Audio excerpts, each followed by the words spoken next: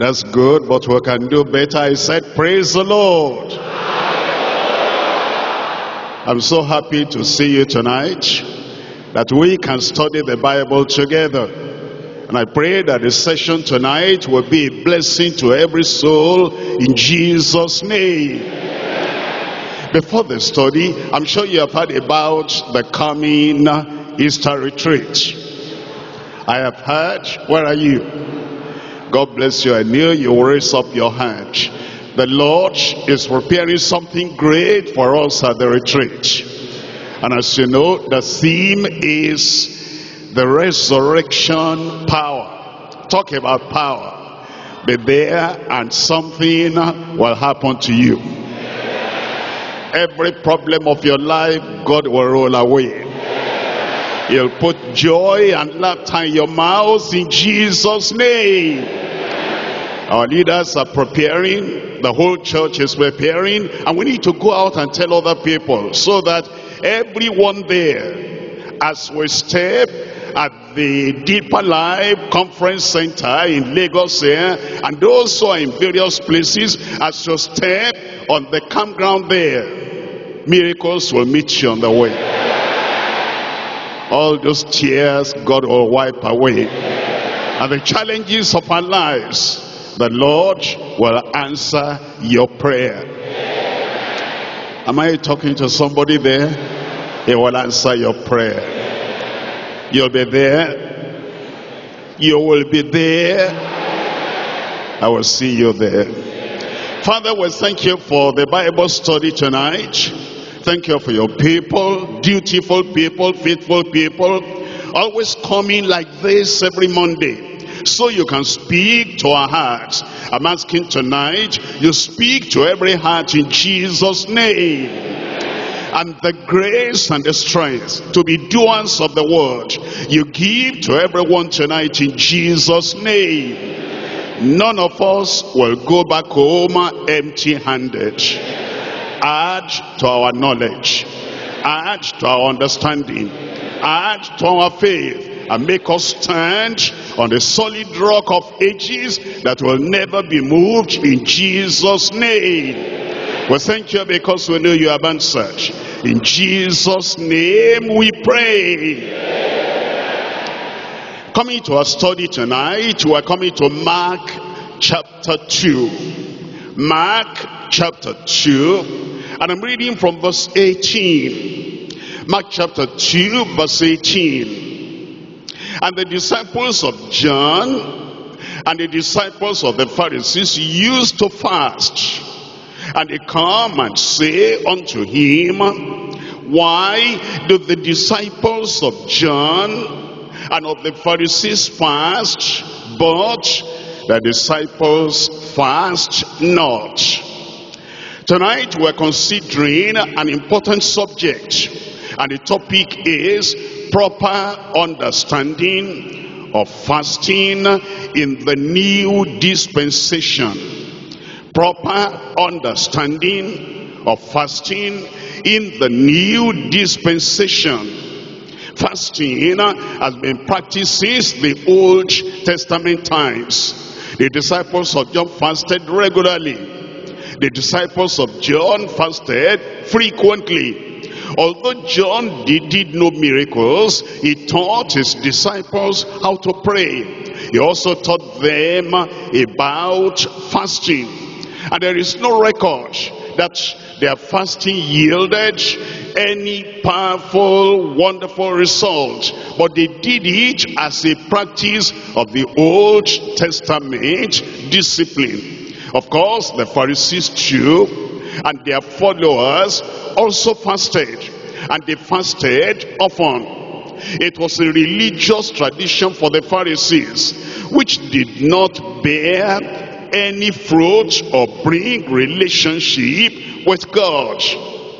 They did not see the disciples of Christ fasting and so they were concerned. Actually, it was like an air of pride.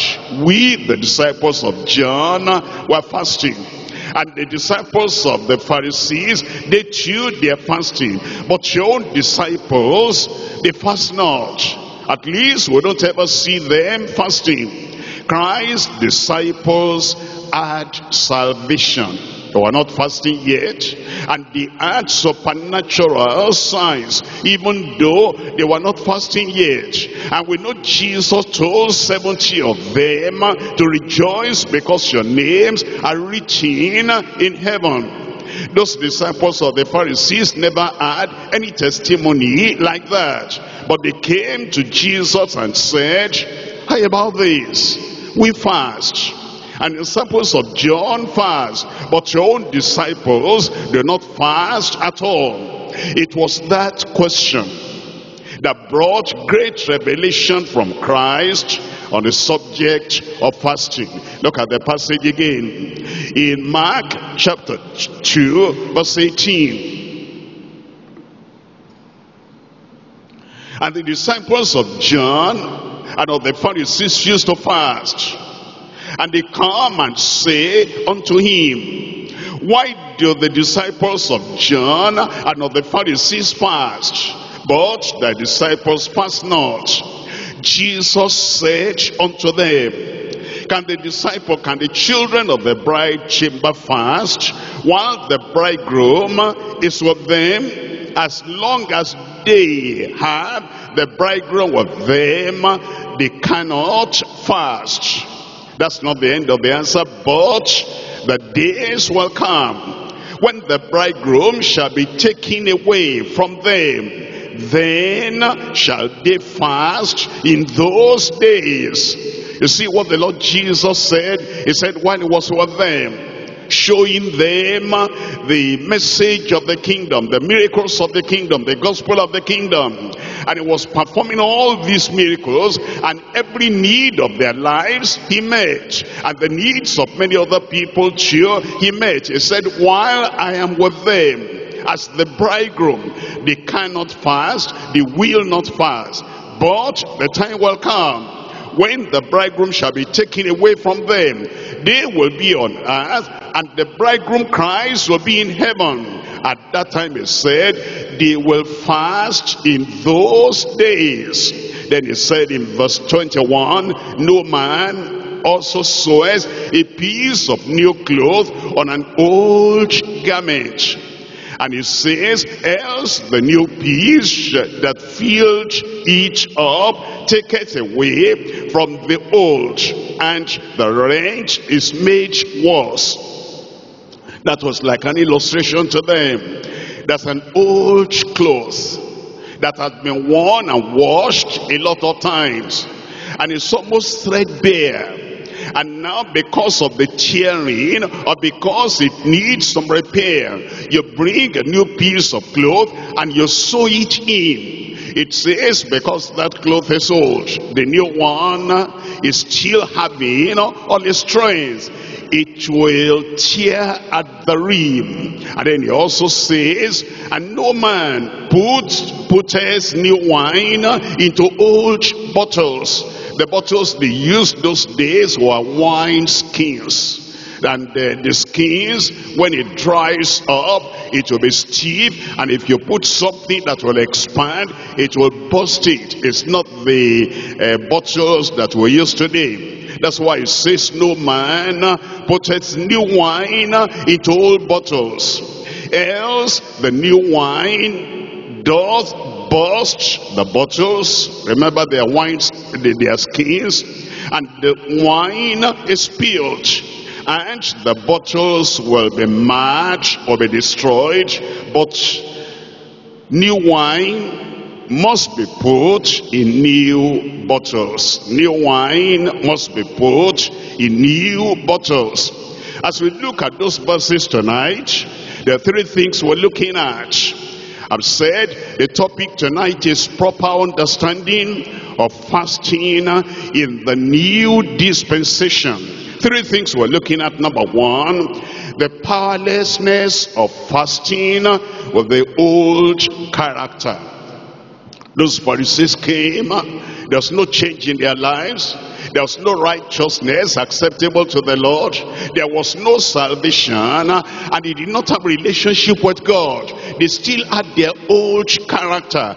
And they were fasting. The powerlessness of fasting of the old character. Point number two. The provision of fullness for new creatures in Christ. Those who are saved, those who are children of God, and they have good relationship, intimate relationship with the Lord Jesus Christ. Is a bridegroom and they are the children of the bridegroom. He says because he's there, he provides fully for them. It's like in a marriage wedding at the marriage wedding, the bridegroom is there and the bridegroom has provided everything. Nobody is going to go to that wedding fasting because he is invited to come and take of the feast of that marriage. And so point number two, the provision of fullness for new creatures in Christ. Point number three, Jesus said, the time will come when those disciples of his, and we his disciples, when Christ would have been taken to heaven, and we are here on earth, it said, it said, at that time, when we're separated, we on earth and he in heaven, he said, and that time we will fast. Point number three, the potentials of fasting under the new covenant is gone to the cross. He has died for us. He was buried. He rose again for our justification. And he has ascended to heaven. We are separated now. As earth is separated from heaven. He says at that time we will fast. Let's come back to point number one. In point number one, the powerlessness of fasting with the old character we're looking at that mark again, chapter 2, verse 18. And the disciples of John and of the Pharisees used to fast. And they come and say unto him, Why do the disciples of John and of the Pharisees fast, but the disciples fast not? Luke records that for us in Luke chapter 5. Luke chapter 5 I'm reading from verse 35, 33. Luke chapter 5, verse 33. And they said unto him, Why do disciples of John fast often? That word often explains why they came. It's not just like once in a while. They fasted often. They fasted frequently. And then he goes on to say in that verse 33, and make prayers, and make prayers. You see, John also taught them how to pray. And they repeated those prayers that John had taught them. And yet, there's no record of miracle. There's no record of healing there's no record of power manifestation. But they made the prayers and they fasted often. And likewise the disciples of the Pharisees, but thine eat and drink. It's, it's a question that concerns many people. That there are people that are fasting, you know, and yet there is no result. Other people are not fasting, you know, and they are having results. The question is, why did those people fast and there wasn't any result? We're coming to Isaiah chapter 58 and I'm reading from verse 3. Isaiah chapter 58 verse 3. Wherefore have we fasted, said they, and thou seest not. Wherefore have we fasted, and thou seest not. Prayers are not answered. Power is not manifested. Transformation does not happen. A change does not happen. And yet like the pharisees like the disciples of john they fast often.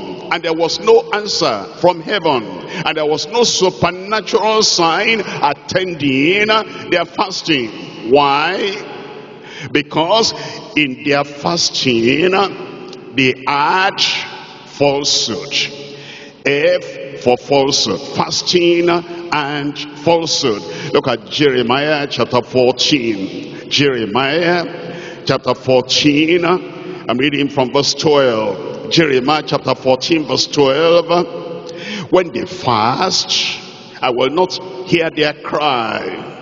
when they offer burnt offering and oblation, I will not accept them, but I will consume them by the sword and by the famine and by pestilence.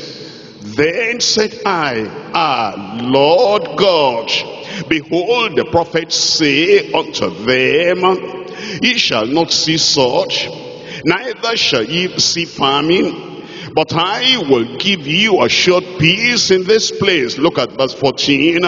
Then the Lord said unto me, the prophets prophesy lies in my name. I sent them not, neither have I commanded them, neither spake unto them. Look at this, look at this. They prophesy unto you a false vision and divination and a sin of not and the deceit of their own heart. False prophecy false expectation and false way of life.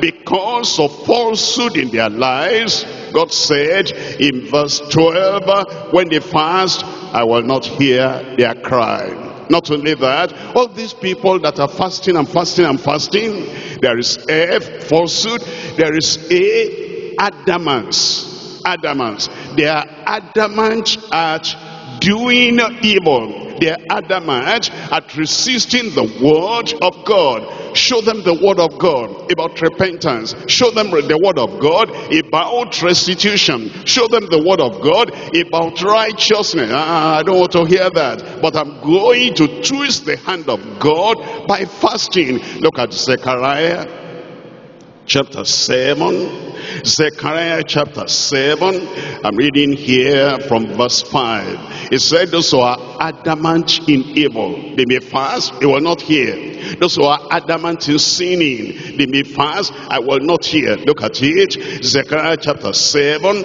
verse 5. Speak unto all the people of the land, and to the priests, and say, When ye fasted and mourned in the feast and seventh month, even those 70 years did ye all at all fast unto me? Even unto me? Look at these people. They were regular and they were frequent it was a habit. At this particular time of the year that particular time of the year they will fast all through 70 years. And it says in verse 6 and when ye did eat when you when you did drink and did not ye drink for yourselves and drink unto yourselves should ye not hear the words which the Lord hath cried by the former prophets when Jerusalem was inhabited and in prosperity and the cities thereof round about when men inhabited the south and the plain come to verse 11 but they refused to hearken. They pulled away the shoulder. They were fasting, they were fasting, and yet it says they pulled away the shoulder. They stopped their ears that they should not hear. Look at this, verse 12. Yea, they made their hearts as an adamant stone. They were adamant in doing evil. They were fasting, Number one, they had falsehood what they're fasting. Number two, they were adamant in evil, lest they should hear the law and the words which the Lord of hosts has sent in his, in his spirit by the former prophets. Therefore came a great wrath from the Lord of hosts, even though they were fasting. Look at verse 13, therefore, it has come to pass that as he cried, and they would not hear, so they cried, and I would not hear, says the Lord of hosts. Why were they fasting? Pharisees, even the disciples of John, and there's no answer, and there's no miracle. F, for fasting, there was falsehood in their lives. A, in fasting, there was adamant. They were adamant in doing evil. S, there was, there was strife. There was fasting, yes, but there was strife. Look at Isaiah chapter 58 Isaiah chapter 58, I'm reading from verse 3. It says in verse 3, Wherefore have we fasted, say they, and thou seest not? Wherefore have we afflicted our soul, and thou takest no knowledge?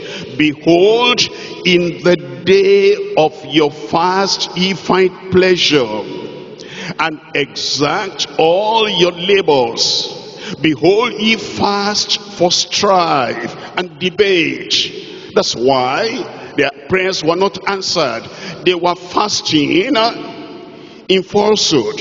They were fasting uh, and they were adamant in committing sin. They were fasting uh, and they had strife. It says, behold in verse 4, ye fast for strife and debate to smite with the feast of wickedness.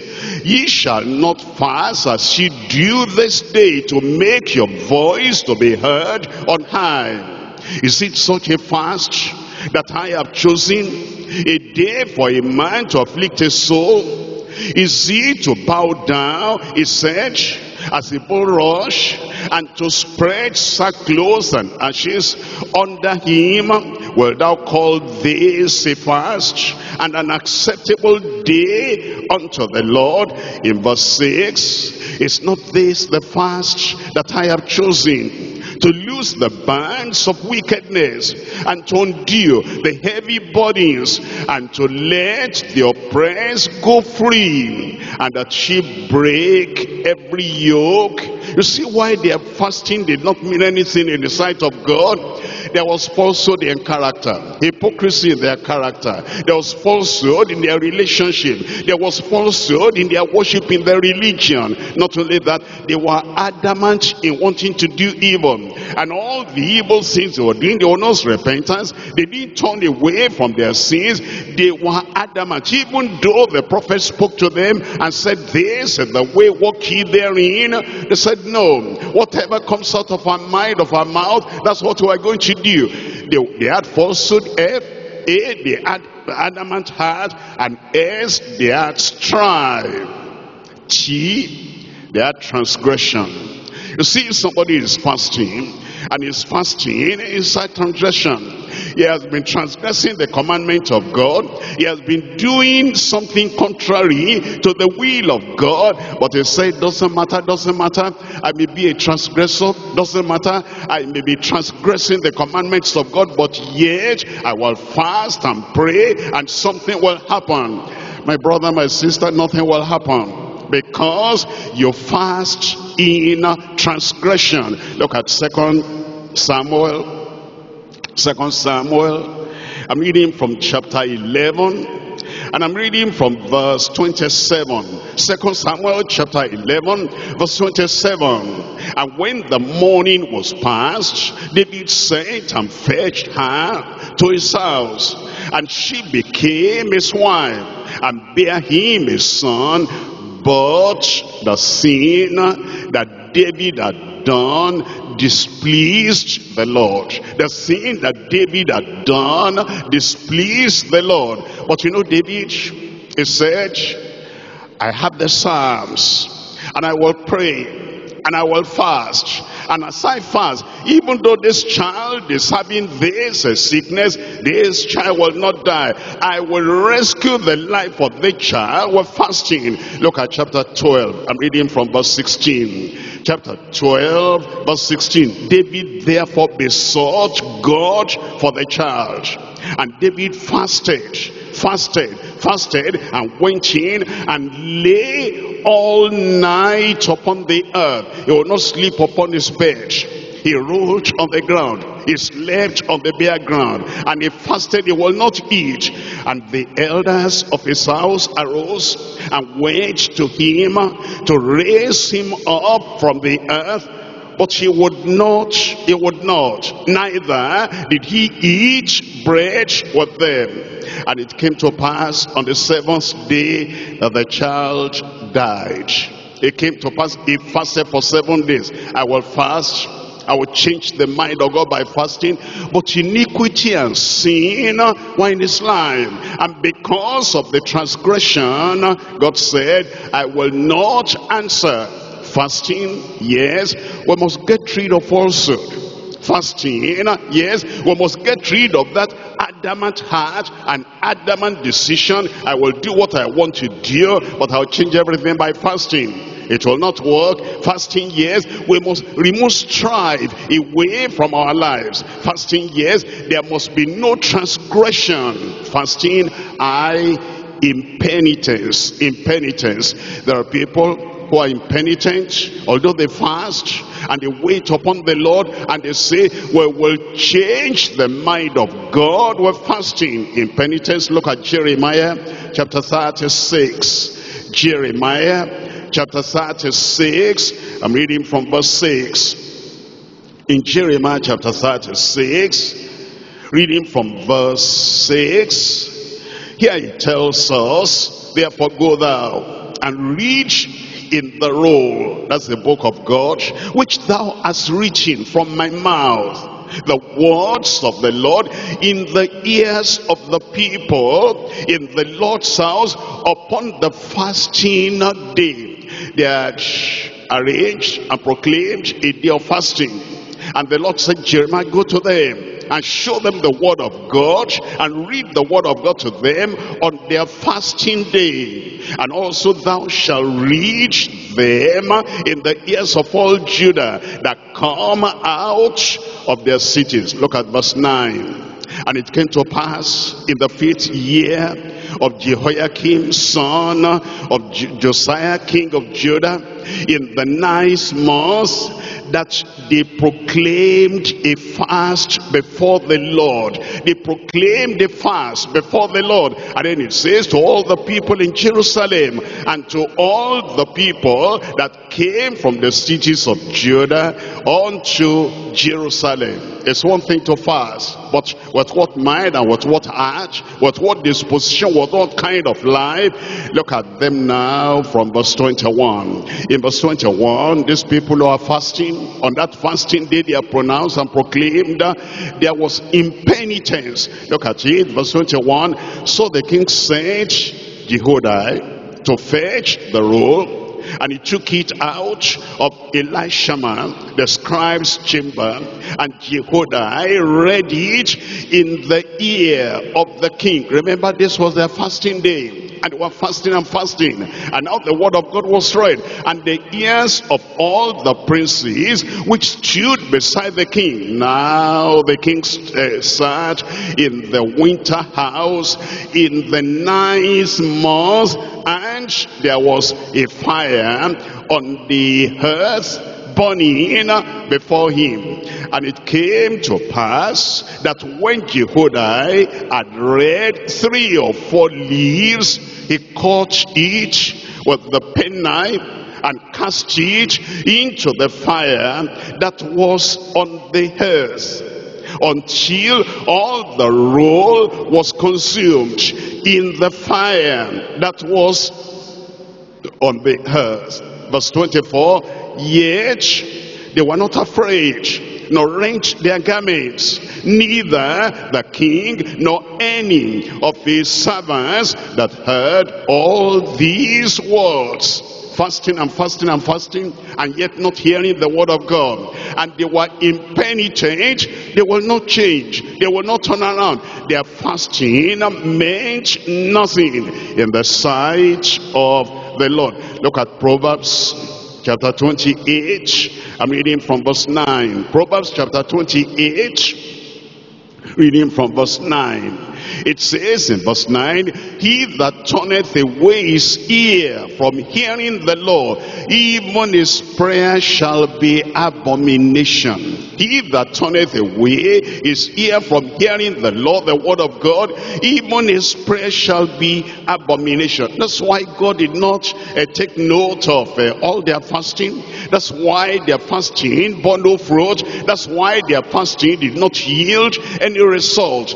They had fasting with falsehood. They had fasting with being adamant. They had fasting with strife. They had fasting with transgression. They had fasting with impenitence. They had fasting and with negligence. Negligence. Come to Luke chapter 18. In Luke chapter 18, I'm reading from verse 11. Luke chapter 18, we're reading from verse 11. These were the Pharisees, and they fasted quite a lot. Look at them here now. In Luke chapter 18, reading from verse 11. The Pharisees stood and prayed thus with himself, God, I thank thee that I am not like other men are extortioners, unjust, adulterers, even as this publican. I fast twice in the week. Think about that. I fast twice in the week. I give tithes of all that I possess. But if you know the Pharisees at all, as Jesus exposed them, you'll see that they were neglecting something very important. There was negligence in their lives. Come to Matthew chapter 23. Matthew chapter 23. And I'm reading from verse 23. Matthew chapter 23, verse 23. Want to use scribes and Pharisees, hypocrites. For ye pay tithes of mint and anise and cumin, and have omitted the weightier matters of the law. You give tithes, you fast twice in the week, but it's negligence in your life. You have omitted the weightier matters of the law, judgment, mercy, and faith. They didn't have faith in Christ. They rejected Christ. But they said, no, we don't want him. It's not a Messiah. It's not the anointed one. Other people believed on the Lord when they heard the Lord. They said, this must be the Christ. But they neglected faith. And he said, these ought ye to have done and not to have and not to leave the other undone. And then there is fasting with godlessness fasting with godlessness. We're looking at First Kings chapter 21. First Kings chapter 21. And I'm reading from verse 9. Can you imagine some people that fast like this passage we're going to read? Godlessness. In First uh, Kings chapter 21 verse 9, and she wrote in the letter saying, proclaim a fast and set Naboth on high among the people. And set two men sons of Belial before him to bear witness against him saying thou didst blaspheme God and the king and then carry him out and stone him that he may die and the men of the city even the elders and the nobles who were of the inhabitants of the city did as Jezebel had sent unto them. And as it was written in the letters which she had sent unto them, they proclaimed a fast and set Naboth on high among the people. And there came in two men, children of Belial, and sat before, the, before him and the men of Belial witness against him, even against Naboth, in the presence of the people, saying, Naboth did blaspheme God and the king. And there was nothing like that. And then they carried him forth out of the city and stoned him that he died. Then they sent to Jezebel, saying, Naboth is stoned and is dead. Look at verse 15. And it came to pass, when Jezebel heard that Naboth was stoned and was dead, that Jezebel said unto Ahab, Arise, take possession of the vineyard of Naboth, the Jezreelite, which he refused to give thee for money. Now for Naboth is not alive but dead. The people that have greed, greed. They fast, but they have greed. They fast, but they are godless. And because of that, their fasting is worthless in the sight of the Almighty God. Look at Psalm 36, reading from verse 1. Psalm 36, reading from verse 1. It tells us here, Psalm 36 verse 1, the transgression of the wicked said within my heart that there is no fear of God before their eyes. There's no fear of God before their eyes. With all their fasting, what's the attitude of God to them? With all their fasting, what's God thinking or planning concerning them? Look at Psalm 7, verse 11. Psalm 7, verse 11. God judges the righteous and God is angry with the wicked every day. God is angry with the wicked every day. If there's falsehood in that person's life, if there is adamant behavior, is made up his mind, what evil he will do, he will do, no matter what you preach. And yet he's fasting. And there is strife, there's fighting, and there's transgression, there's impenitence, there's negligence, there's godlessness. God is angry with the sinner every day. He may fast, he may say, I will change everything by fasting. No, you cannot change anything by fasting if you are a transgressor because we're told in Proverbs chapter 21. Proverbs chapter 21, I'm reading from verse 27. Proverbs 21 verse 27 the sacrifice of the wicked is abomination. How much more when he bringeth each with a wicked mind? The self-denial of the wicked is abomination the fasting of the wicked is abomination and the gift of the wicked is abomination. How much more when he brings it with a wicked heart. Let's come back now to um, Mark chapter 2. Mark chapter 2 and I'm reading from verse 18. And the disciples of John and of the Pharisees used to fast and they come and say unto him, Why do the disciples of John and of the Pharisees fast, but the disciples fast not? Verse 19, And Jesus said unto them, Can the children of the bride chamber fast while the bridegroom is with them? Is the time of feasting is the time of joy and it is the time of the fullness of provision because the bridegroom is with them is healing the sick is raising the dead is cleansing the lepers is multiplying food and is making thousands to eat out of a out of small amount of food is doing great things. He has come with the fullness of blessing and is the bridegroom is with his disciples how can they fast in such a situation as long as they have the bridegroom with them, they cannot fast. The provision of fullness for the new creatures in Christ. Look at John chapter 3 and see who is referred to as the bridegroom. John chapter 3 verse 28. John chapter 3 verse 28. You yourself bear me witness. John was saying, that I said, I am not the Christ, but I am sent before him. Verse 29, he, that is Christ, that has the bride, is the bridegroom. But the friend of the bridegroom, which standeth and heareth him, rejoiceth greatly because of the bridegroom's voice. This my joy therefore is fulfilled. It's referring to Christ. It's a Christ is the bridegroom. And Jesus said, while the bridegroom is with them, with his disciples, those disciples cannot fast. Why? because they have the fullness. Come to John chapter 1. John chapter 1.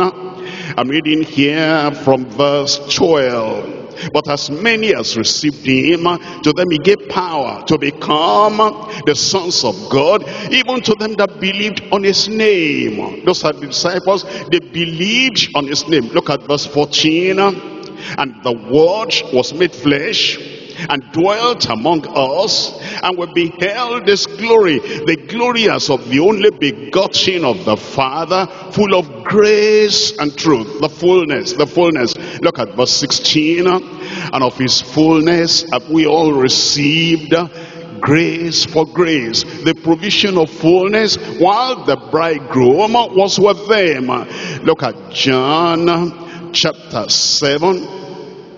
John chapter 7, reading from verse 37, in the last day, that great day of the feast, that great day of the feast. The bridegroom is here. And because the bridegroom was of them, it was feasting time. Jesus stood and cried saying, if any man thirst, let him come unto me and drink. He doesn't need to fast this feasting time. The bridegroom is here. Let him come unto me and drink. He that believeth on me, as the scripture has said, out of his belly shall flow rivers of living water. Look at chapter 10 of John. John chapter 10, verse 10. The thief cometh not, but for to steal, and to kill, and to destroy. I am come that they might have life and that they might have it more abundantly. It's a time of abundance. It's the time of abundant supply while the bridegroom was with them. That's why he told those uh, people that came to ask the question, we are fasting and the Pharisees are fasting and your disciples are not fasting. Why? He said because they have the bridegroom with them and he has come to provide for them the fullness. Look at chapter 15. Chapter 15, I'm reading from verse 11. Eh, eh, verse, chapter 15 I'm reading here from verse 11. It says, These things have I spoken unto you, that my joy might remain in you, and that your joy might be full. He brought fullness to them. That's why they could touch him and they could reach him and they could speak to him and they could say master master we perish. And then he rise up and say peace be still. The time of fullness was with them. John chapter 16 i'm reading from verse 24 john 16 verse 24 hitherto have ye asked nothing in my name ask that ye may receive that your joy may be full. Looks like tonight your joy can be full. I said tonight your joy can be full. And look at Ephesians, Ephesians chapter 3, fullness, the fullness of God coming in our lives because of our relationship with the bridegroom. Because he said, I will never leave you. Because he said, I am with you always. And because he's with us, we receive of his fullness. We're looking at Ephesians chapter 3 and verse 17, that Christ may dwell in your hearts by faith that ye being rooted and grounded in love may be able to comprehend with all saints what's the breadth and the length and the depth and the height and to know the love of Christ which passes knowledge. You will know it. You will have it. You will receive in Jesus name and that she might be filled with all the fullness of God. You see that? That she might be filled with all the fullness of God now unto him that is able to do exceeding abundantly above all that we ask or think according to the power that worketh in us unto him the glory in the church by Christ Jesus throughout all ages world without end and the people of God said Colossians, Colossians chapter 2, the fullness, the provision of fullness for us. As you come to the Lord, He has the fullness waiting for you. And He has the fullness abiding. Colossians chapter 2, and I'm reading from verse 9. For in Him dwelleth all the fullness of the Godhead bodily in Christ dwelleth all the fullness of the God of, of the Godhead bodily and ye are complete in him. And ye are complete in him. Anything that is incomplete there tonight the Lord will add to your life. You'll be complete in Jesus name spiritually you'll be complete physically eh, you'll be complete and every area of your life you'll be complete in jesus name and ye are complete in him which is the head of all principality and power this fullness of the lord How do we get the fullness? How do we dive into that fullness? How do we receive of the fullness of the Lord? It's all by faith. It's all by faith. As you believe on the Lord Jesus Christ, your faith will not fail. Your faith will not waver and you receive of the fullness. Look at Romans chapter 5, Romans chapter 5. I'm reading from verse 1. Romans chapter 5 verse 1. Therefore, being justified by faith, we have peace with God through our Lord Jesus Christ. To have peace with God, we don't need to fast. Already he's paid the price. Already has shed his blood. And the Lord says, when I see the blood, I will pass over you. Look at verse 2. By whom we have access by faith. We have access to the fullness of God by faith into this grace wherein we stand and rejoice in the hope, in the glory of God. Let's come to Acts of the Apostles chapter 15. Acts chapter 15, if we, uh, verse 9. Acts chapter 15, verse 9. The fullness includes salvation. We get it by faith. The fullness includes sanctification. We get it by faith. Acts chapter 15, verse 9. And put no difference between us and them, purifying their hearts by faith. Believe on the Lord Jesus Christ, you'll be saved. Believe on the Lord Jesus Christ, you'll be sanctified. Not only only that, if you're sick, we get healing by faith. Acts of the Apostles chapter 3. Acts of the Apostles chapter 3 and I read from verse 16 and in his and his name through faith in his name has made this man strong whom you see and know, yea, the faith which is by him has given him this perfect soundness in the presence of you all. Faith will take away sickness from your body. Faith will take infirmity away from your body. As you believe on the Lord Jesus Christ and you know, by his stripes I am healed. Healing has come.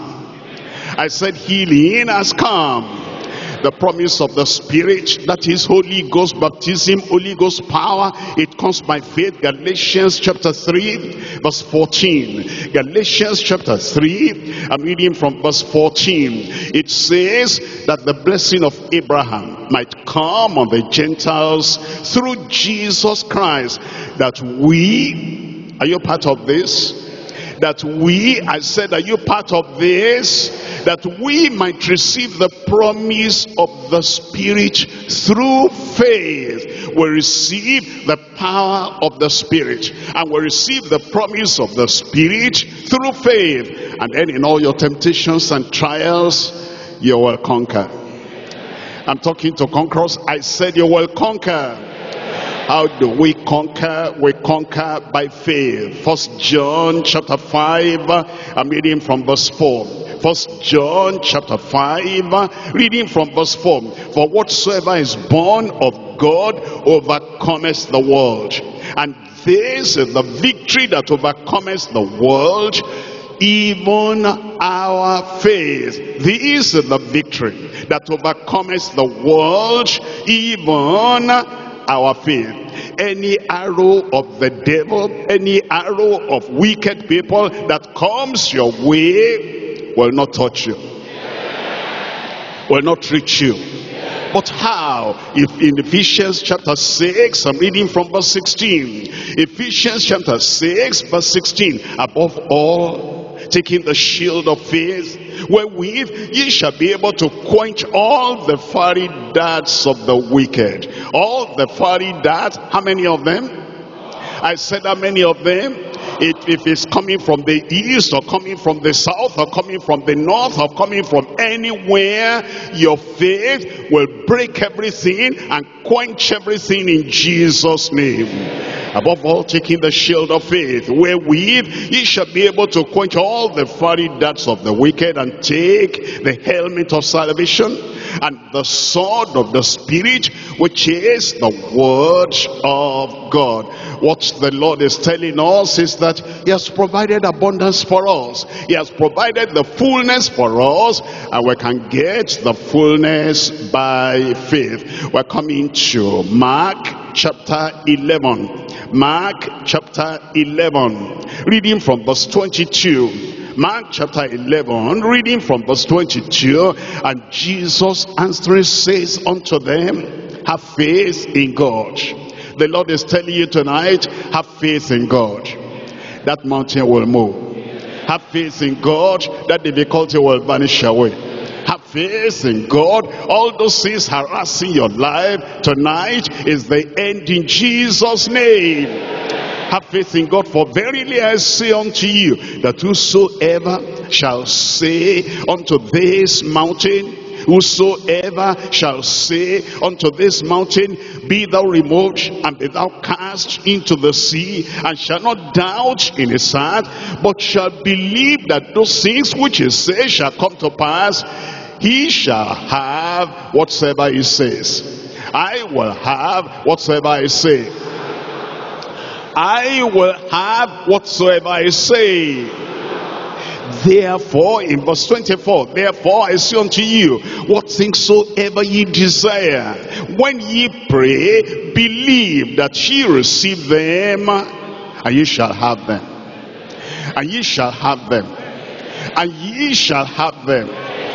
You'll have them even from tonight in Jesus' name. Point number three now, the potentials of fasting under the new covenant. The potentials of fasting under the new covenant. We're coming to Mark chapter 2. And I'm reading from verse 20. Mark chapter 2. We're reading from verse 20. But the days will come. Jesus said, the days will come when the bridegroom shall be taken away from them.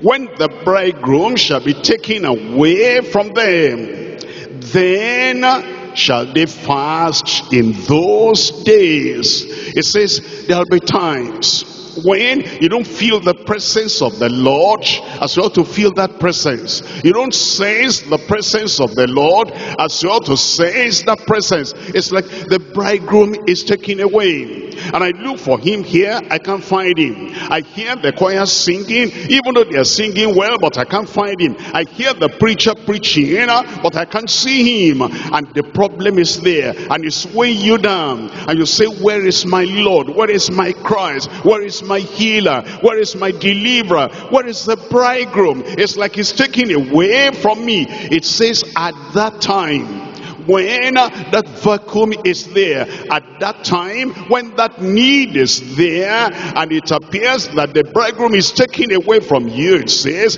at such a time they will fast. And Jesus gave directives as to how we ought to fast. In Matthew chapter 6, I'm reading from verse 17. Matthew chapter 6, we're reading from verse 17. But thou, when thou fastest, anoint thy head and wash thy face, that thou appear not unto men to fast, but unto thy Father which is in secret. And thy Father which seeth you fasting in secret shall reward thee openly. Your fasting will not be in vain. Your fasting will not be for nothing. Your fasting will not be worthless. Your father will see the condition of your heart. Your father will see your importunity in prayer and the father will answer your prayers. Look at Matthew chapter 17. Matthew chapter 17. I'm reading from verse 19. Matthew 17 verse 19. Then came the disciples to Jesus apart and said, Why could we not cast him out? You gave us power in chapter 10 And we went out in that power, and many people were healed, and even the devils, the demons, they were subdued. But now this one, we couldn't do this one. Why couldn't we do this? Jesus said unto them, because of your unbelief, for verily I say unto you, if ye have faith as a grain of mustard seed, ye shall say unto this mountain, the time has come for you. You will talk to that mountain. And if you need to fast a day or two, you will fast and then the power of that fasting, when you speak to that mountain, that mountain must move away. All my mountains will move away. I said all my mountains will move away. Every mountain in your family, every mountain in your profession, every mountain around you, as you wait upon the Lord, you will speak to that mountain, it will vanish away. You will say, remove hands to yonder place, and it shall remove. And nothing shall be impossible unto you. How do you like it that nothing shall be possible unto you? How do you want it that nothing shall be possible unto you? Are you there? It must happen in your life. I said it must happen in your life. But look at verse 21. How be it this kind goeth not out but by prayer and fasting. But by prayer and fasting. If you will take that challenge as well to take that challenge uh, the fasting doesn't have to be long long fasting doesn't have to be for weeks or for months.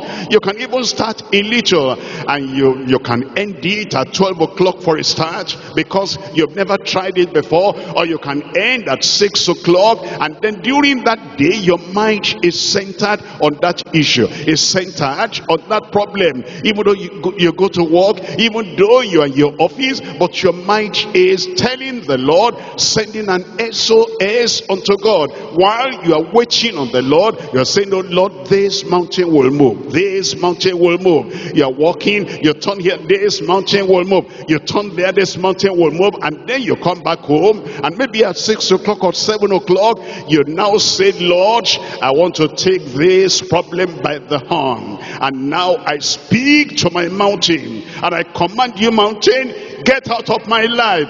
In Jesus name. It will go.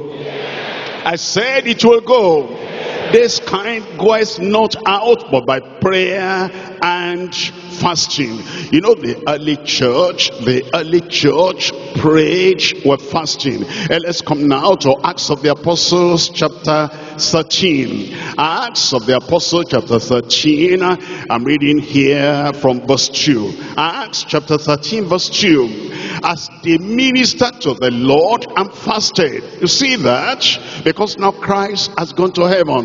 The bridegroom has gone to heaven. And they were here on earth. And the field was white for harvest. And they needed more power. They needed more strength. They needed more courage to go out into the field and do the work as they ministered to the lord and fasted. The holy ghost said separate me barnabas and saul for the work whereunto i have called them. And when they had fasted they were fasting. The message came. They continued fasting until they finished. When they had fasted and prayed and laid their hands on them they sent them away. So they being sent forth by the Holy Ghost departed unto Seleucia and from thence they sailed to Cyprus. The point is those disciples and apostles they prayed and they fasted even after the day of Pentecost. So somebody cannot say I'm saved, I'm sanctified, I'm filled with the Holy Ghost. So there's no necessity of fasting in my life. If you want more power, if you want more authority, if you want more anointing, if you want that anointing that breaks every yoke, if you want more result and more fruit, as they did in the early church, you will do. And the power of God will multiply your life in Jesus' name. We're coming to, we're coming to Acts of the Apostles chapter 14. Acts chapter 14, I read from verse 21. Look at this, and, and when they had preached the gospel to that city, and had taught many. They returned again to Lystra and to Iconium and Antioch confirming the souls of the disciples and exhorting them to continue in the faith and that we must through much tribulation enter into the kingdom of God whatever your trial you'll be an overcomer Whatever the trouble, you'll be an overcomer. Look at verse 23. Verse 23. And when they had ordained them elders in every church and had prayed with fasting and had prayed with fasting, they commended them to the Lord on whom they believed. On whom they believed. Look at First Corinthians chapter 7 First Corinthians chapter 7 is uh, fasting uh, available for every believer, every child of God. Look at it. First Corinthians chapter 7 verse 5. Defraud ye not one the other, except ye be with consent for a time. It's talking to husband and wife is talking to them as they relate together that they don't cheat each other and they don't deny each other. Defraud ye not one the other except it be with consent for a time that ye may give yourselves to fasting and prayer. With consent. The wife might tell the husband, I want to wait on the Lord. The husband might tell the wife, I want to wait on the Lord. And with consent, the husband can do it and the wife can do it so that you give yourselves to fasting and prayer and come together again. It's not an indefinite, indefinite, indefinite fasting. Come together again uh, that Satan tempts you not for your incontinency. Think about Paul the apostle. When he came to know the Lord, you know how he started? Acts of the Apostles chapter 9.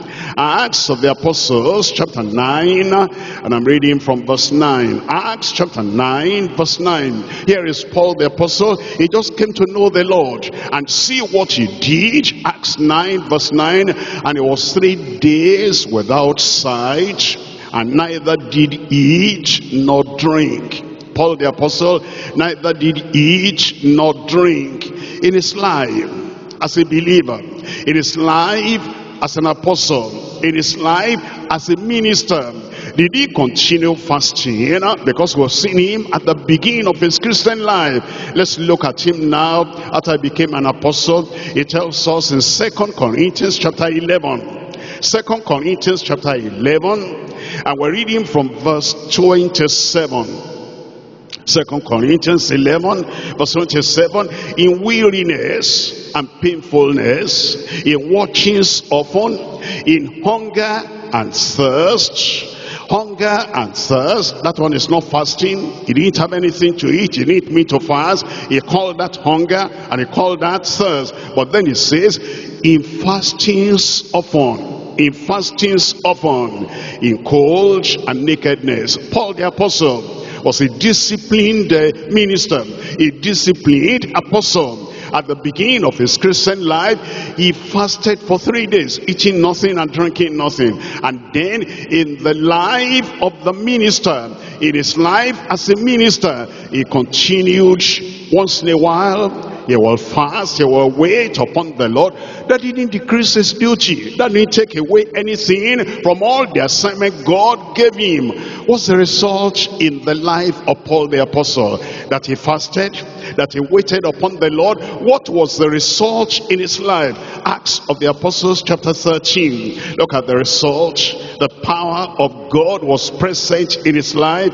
The power of God will be present in your life. Did I hear an amen?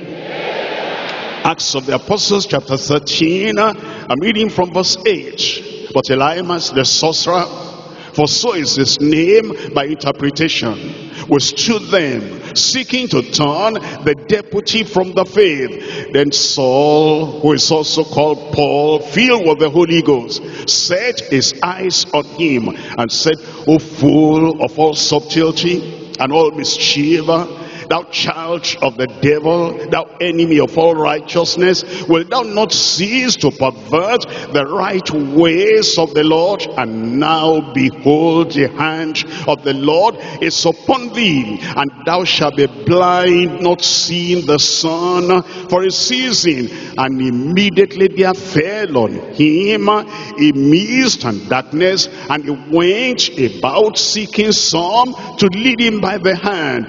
When the deputy, the, then the deputy, when he saw what was done, believed, being astonished at the doctrine of the Lord. That man had power. You will have power. But you know, it was not an easy thing, just easy going live and eating too much and drinking too much. I cannot miss my breakfast. I cannot miss any meal. You will discipline yourself. There will, there will be times to wait upon the Lord and power will multiply in your life. Look at chapter 14. Acts chapter 14. I'm reading from verse 7. And there they preached the gospel. And there sat a certain man at Lystra, impotent in his feet, being a cripple from his mother's womb. He was born like that, who never had walked. The same heard Paul speak, and who steadfastly beholding him, and perceiving that he had faith to be healed, said, with a loud voice, stand upright on thy feet. And he lived and walked. That's power. I said that's power. If we have a hundred people here tonight that will wait upon the Lord, a hundred people, a hundred sisters, a hundred brothers that will say, we're going to wait upon the Lord. I'm going to make sure that there is no falsehood in my life and there is no adamant attitude in my life and there is no strife and there's no transgression and there's no impenitence, there's no iniquity and there's no negligence and there's no greed, there's no godlessness. I am going to wait upon the Lord the Lord will honor your dedication. And the Lord will honor your consecration and power will multiply your life in Jesus' name.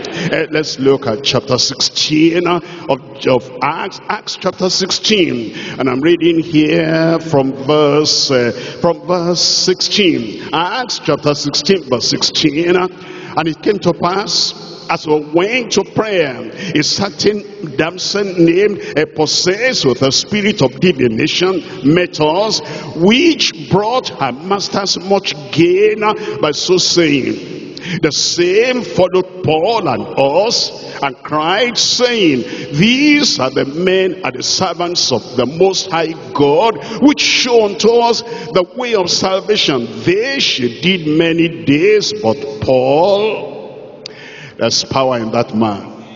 I said there was power in that man. But Paul, being grieved, turned and said to the Spirit, I command thee in the name of Jesus Christ to come out of her. And he came out the same hour. He came out the same hour. God will grant you more anointing. Look at verse 25. At midnight, Paul and Silas prayed and sang praises unto God. And the prison, the prisoners had them, and suddenly there was a great earthquake, so that the foundations of the prison were shaking. And immediately all the doors were opened, and everyone's bands loosed. That power can come upon your life that power can be manifested in your life. But you know, you must have a mind to seek the Lord. You must have a mind to wait upon the Lord. You must have a mind that I'm not going to remain the way I've always been. And as I seek the face of the Lord and I hold on to the promises of God and I make sure I clear the way. There is no sin, there is no evil. And I'm saying, Lord, I need this power to honor you, to glorify you, and to deliver the oppressed. Power will come upon your life. Look at Acts chapter 19. I'm reading from verses 11 and 12. Acts chapter 19, verses 11 and 12. And God wrought special miracles by the hands of Paul. God wrought special miracles by the hands of Paul, so that from his body were brought unto the sick handkerchiefs or aprons, and the diseases departed from them, and the evil spirits went out of them. It will happen again. We're coming to Romans chapter 15. Romans chapter 15. I read from verse 18. Romans chapter 15, reading from verse 18. For I will not dare to speak of any of those things which Christ has not wrought by me. This Paul talking to make the Gentiles obedient by word and deed.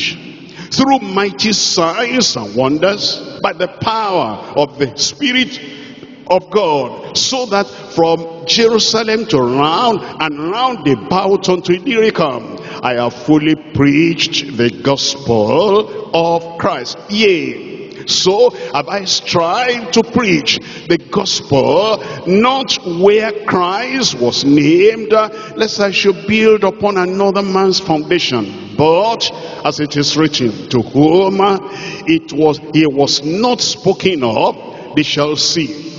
And they that have not heard shall understand. Through Paul, they heard. Through you, they will hear. Through Paul, they saw the glory of God, the power of the Lord. And through you, they will hear in Jesus' name. Let's come back now to Mark chapter 2. Mark chapter 2. I'm reading from verses 21 and 22. No man also sews a piece of new cloth on an old garment. Else the new piece that filled it up taketh away from the old and the rent is made worse. And no man putteth new wine into old bottles. Else the new wine doth burst the bottles, and the wine is spilled, and the bottles will be mad. What was he saying? He was saying, you know, these were Pharisees that came. And then the disciples of John were on the sideline. And they were saying, why are we doing this? And your disciple oh, is not doing it. He was telling them, old tradition is not compatible with this new teaching. He was teaching on being born again. That's new teaching them about eternal life that's new teaching them about the fullness that he brought from heaven that's new and their old tradition cannot be matched, will not be compatible with the old, with the new teaching. What was he telling them? The old rites and rituals of the Old Testament, of the law of Moses, will not be compatible with the new righteousness that comes by faith. What was he telling them? He was telling them the old practice will not match, will not be compatible with the New Testament provision and promises. The New Testament provision and promises, he has promised to us all things freely to enjoy. And all those practices of the Old Testament, you cannot put that in the, in the old wineskin or, or, or new wineskin or selling them that the old covenant religion. The religion of the old covenant is not compatible with the relationship of a new covenant. There's a new covenant now. And Christ is the mediator of that new covenant. And you cannot bring the old religion, old covenant, you cannot bring that into the new relationship. He was telling them the old concept of love Love your friends and hate your enemies. That old concept cannot come in now. This is new commandment that you love everyone as I have loved you and you love your enemies as well. The Old Testament people were servants of fear and they had servants fear. But you see the New Testament, we have the son's faith. It says the faith of the son is something new. And the fear of the servant in the Old Testament will not be compatible or telling them full surrender to Moses that they had in the Old Testament will not be compatible with full submission to the Messiah. And he said, you cannot mix them. You cannot bring everything together. You must bring the old, the new wine into the new bottle. New wine into new bottle. What does that mean? It means new face in the new creature. It's now a new creature. If any man is in Christ, it's a new creature. All things are passed away. All things have become new. And now you have new face and you have new creature new faithfulness to the new commander. He is now a commander and he's leading the way and we're following him and now we have new faithfulness to the new commander. It's new followership of the new captain. It's the captain of our salvation and this is very new. It's not something of the old covenant of the Old Testament and it says you put new wine into new bottle, new followership of the new captain it's talking of the freshness that comes now. The comforter will come. And when the comforter comes, he will guide you into all truth. You have new freshness from the new comforter. It's talking about the new fellowship that we now have. And it is the new fellowship in a new congregation. It's not the congregation of the Old Testament. We have to go and say, you offer animal and we have to slaughter the animal and apply the blood. It's been done once and for all. And the atonement of Jesus Christ brings us into that new congregation with new fellowship. It's talking about the new freedom we have and it's coming from the counselor. His name shall be called counselor and wonderful, the mighty God. And because this is totally new, he's now counseling us, leading and directing us because of that new counselor. We have new freedom. If the Son therefore shall make you free, ye shall be free indeed. It says, leave the old, leave that tradition, leave all those things of the old covenant and come anew. And there's new wine in new bottle. It's talking now about the new fasting and the new with a new comprehension new fasting. Not the fasting of those old people old testament people and they fasted and fasted and fasted. What did they realize? But now it says come to the new covenant and come to the new testament and have a new comprehension. New fasting with new comprehension. Now he has told us as we wait upon the lord you renew your strength. Somebody there said you renew your strength Isaiah chapter 40, Isaiah chapter 40, I'm reading from verse 28, As thou not known, as thou not heard, that the everlasting God, the Lord, the creator of the ends of the earth, fainteth not, neither is weary. There's no searching of his understanding. He giveth power to the faith. Power waiting for you today and to them that have no might he increases strength even the youth shall faint and be weary and the old and the young men shall utterly fall. But but are they here tonight? I said are they here tonight? Are you going to increase your power tonight? Increase your boldness tonight?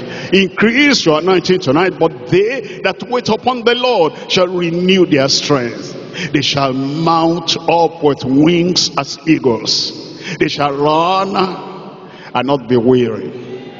They shall walk and not faint. Your time or tiredness can end tonight. Weariness can end tonight. Weakness can end tonight. Power, courage, and boldness can be multiplied in your life tonight.